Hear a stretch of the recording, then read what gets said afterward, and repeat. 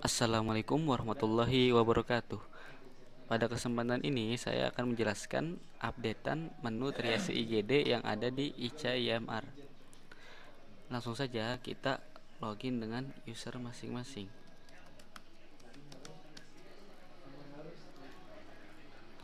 Oke, biasanya kita di sini memilih pasien dahulu, kemudian baru menginput atau mengisi menu triase IGD. Namun untuk sekarang kita tidak perlu lagi memilih pasien terlebih dahulu. Kita bisa langsung mengisi menu triase IGD dengan cara pertama klik tombol biru di bawah ini input triase IGD kemudian akan tampil form triase IGD tersebut. Di sini kita isi nama pasiennya. Contoh kita isi Natasha kemudian pilih petugasnya siapa? Dokter atau perawat atau bidan? Di perawat. Di sini cari nama perawat tersebut. Contoh Ibu Amisara. Kemudian cara masuk pasiennya bagaimana? Kemudian informasi asal masuk status kecelakaan dan DOA death on arrival. Kemudian keluhan utamanya apa? Contoh, mual-mual. Kemudian ada tanda vital. Di sini keadaan umumnya apa? Contoh sedang, respirasinya 90. Di sini nadinya 85 contoh. SPO-nya 100.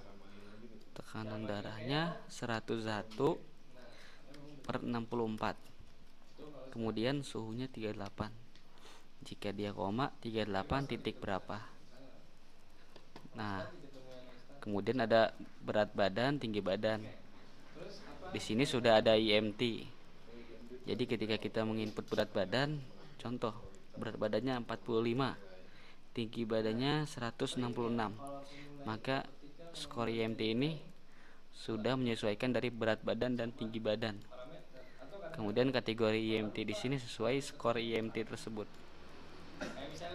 Kemudian GCS-nya disesuaikan. Kemudian kategori triase. Kategori triase ini wajib diisi ketika kita tidak mencentang DOA. Jika kita mencentang DOA, maka kategori triase ini boleh tidak diisi. Contoh di sini kita tidak mencentang DOA dan kita tidak mencentang triase. Kita klik simpan, maka akan ada cegatan atau alert. Di sini kita diwajibkan mengisi airway, breathing, kemudian circulation disability. Namun, jika kita mencentang DOA, maka kita bisa menyimpan tanpa mengisi triase tersebut. Oke, di sini data berhasil disimpan. Oke. Kemudian jika sudah selesai, maka kita menunggu ketika pasien sudah mendaftar. Itu disimpan. Maka kita cari data pasien tersebut. Contoh di sini sudah mendaftar pasiennya, kita ambil pasiennya, kemudian kita masuk ke menu triase.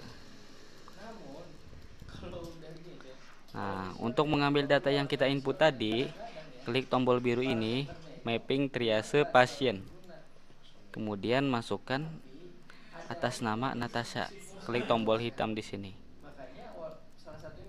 oke di sini kita untuk mengkonfirmasi harus memasukkan pin.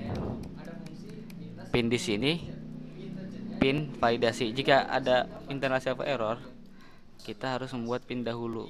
Untuk membuatnya klik profil kemudian klik tombol pin kemudian masukkan 6 digit angka.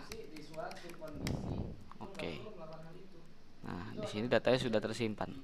Kemudian untuk validasi kita tekan tombol validasi ini karena kita tadi belum masukkan pin maka kita harus menekan tombol validasi terlebih dahulu jika kita sudah mempunyai pin dan tadi ketika kita memapping data tersebut dan kemudian memasukkan pin maka akan otomatis sudah tervalidasi oke okay. Untuk update menu triase hanya segini saja. Sekian, terima kasih. Assalamualaikum warahmatullahi wabarakatuh.